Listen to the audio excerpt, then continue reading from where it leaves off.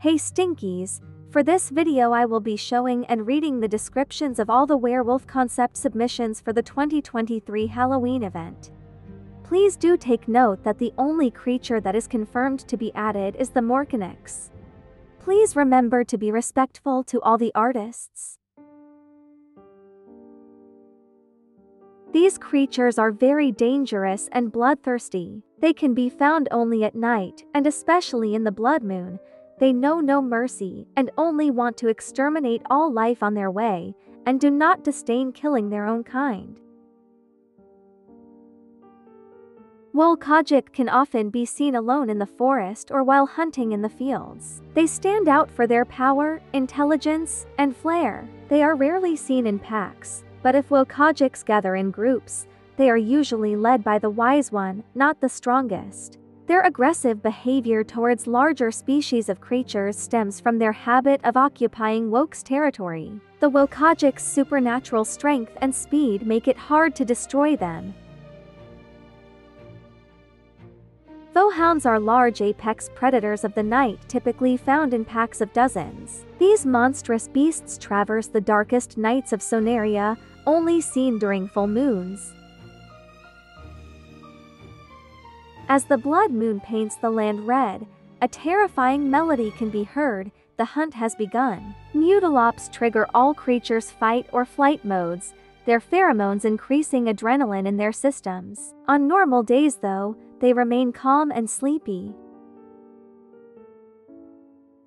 During the full moon, Lupeucan always appears to hunt for their next meal, they utilize their large paws to grasp and their small arms to aid in devouring. If missing the lunge, they use their quills to paralyze their prey. A temperamental creature of the dark forests and fog who hoists the head of its first kill upon its shoulders. Often thought to be just a fairy tale monster, the elusive Grimbers are fanatics of the blood moon and prowlers of the night. Grimber is a highly intelligent species who have mastered all sorts of magic, be it however horrific and dark. These sneaky predators love to toy with their prey by mimicking familiar voices and creating illusions, then take it out with a swift blow when the boredom finally sets in. Fenrir-Lael are large and fast beasts, trampling through the fauna in search of prey. Fenrir-Lael are aggressive and will attack almost anything that moves. They move quickly however cannot turn fast enough to catch most prey, and often bumps into large trees and rocks. Bestium are rare but terrifying creatures most often seen during blood moons. Not much is known about Bestium but the reason for this is not rarity but the general hostility of the species itself.